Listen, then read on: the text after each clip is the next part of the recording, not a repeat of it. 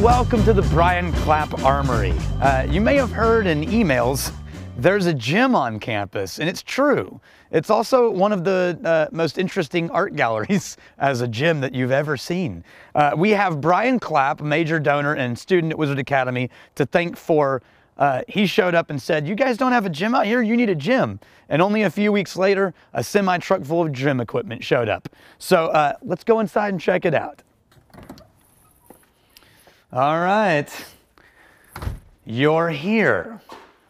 Check it out. I didn't want you to feel lost or a little confused about this, so I'm going to go ahead and take the time to show you how to use all of the gym equipment. But first, it's important to be uh, prepared with the proper gym attire and uh, gym beverage, which is why I brought my coffee. Most people don't know this, but uh, if you don't have a normal headband, uh, a nice little scarf is helpful to keep the sweat off of you. So let's start over here with this. This is called the, um, yeah, I'm not really sure what it, um, what it's for, but it's, it, see, I can do all day. I can do this all day. I can even do it one-handed. I guess you just sort of walk on this one.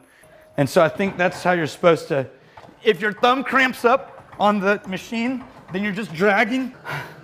So that was that was good. A lot of dancing, a lot of dancing on that one. Um, this is called um, a, a bob. I think you're supposed to wrestle with them, and then you got to try and take them down. Uh, little help. Bob won.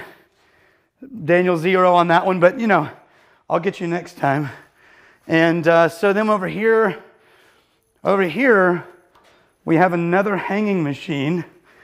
And then you just kind of do this.